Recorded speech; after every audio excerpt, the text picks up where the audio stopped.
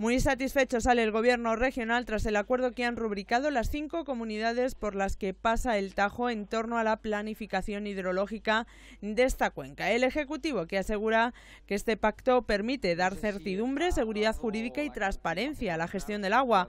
Una opinión que no comparte el PSOE de Castilla-La Mancha que tacha el acuerdo de traición y anuncia el comienzo de una campaña en contra de este acuerdo.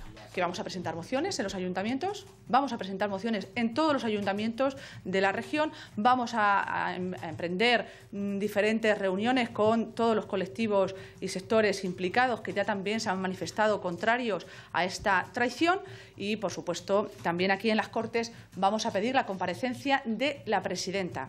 Esta es la forma de no resolver nunca los problemas, ni los del agua ni de ningún otro.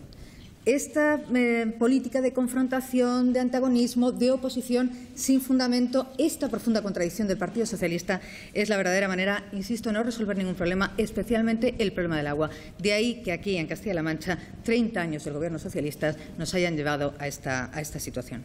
El Gobierno regional que asevera que el nuevo acuerdo supone el fin de conflictos artificiales y garantiza las necesidades de agua presentes y futuras de la región.